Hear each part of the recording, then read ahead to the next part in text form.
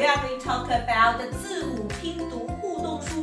很多人会觉得美国的课堂很有趣，是不是他们都不需要写字呀？是不是他们都不需要学习呀？有学过没学都无所谓。不是，是他们把听说读写，不是这堂课只教听，这堂课只教说，这堂课只教读，这堂课只教写，是他们把很多很有趣的读写。要不要写字？当然要写字啊。要不要考试？当然要考试啊。要不要打孩子？当然的哦。不小心把我的真心话说出来了。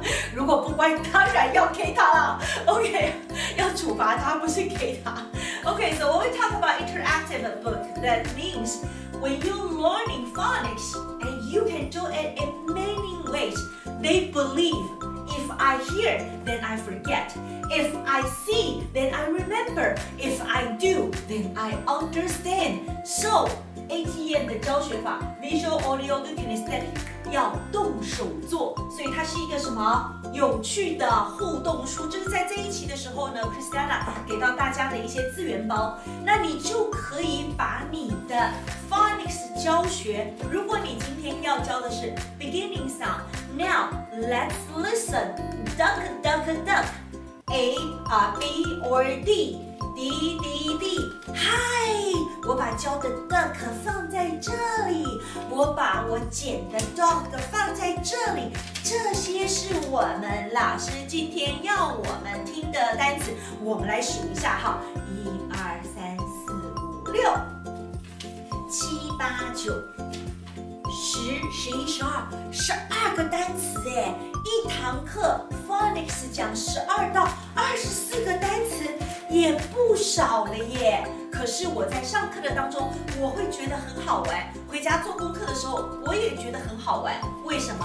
因为我做的是什么？Interactive book，我做的是互动书。我们来看一下，当我们今天看到 result，我们孩子拿给家长看到的是不一样的互动书。你看，这是我的 beginning sound 跟我的 ending sound，老师教给我的字卡，我把它放在里边。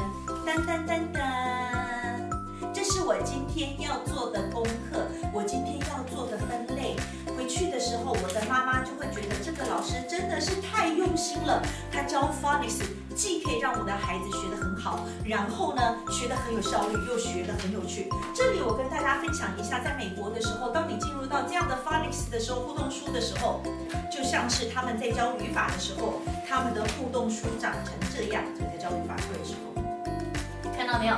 我要教 nouns Noun 是什么？好，我们就讲嘛。什么叫做名词？名词就是人、时间、地点，然后呢，动物，对不对？然后可是学生讲完了是怎么样？忘记了。可是我今天把我的单词用互动书，这是放大的一个互动书。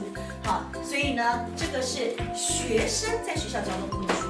然后呢，他们在一开始的时候，噔噔噔噔，很可能今天我在吃饭的时候，我在幼儿园的时候，我要教 A B C D 我就是。开始这样子看，然后呢，就可以在上面画，然后我就可以跟他互动。然后呢，我要教方女士的时候方女士的短音的时候要打勾，然后长音的时候要打横杠，我都是在怎么样吃饭的时候看出来的，玩出来的。然后呢，当我进入到方女士的时候，我的老师让我去做什么？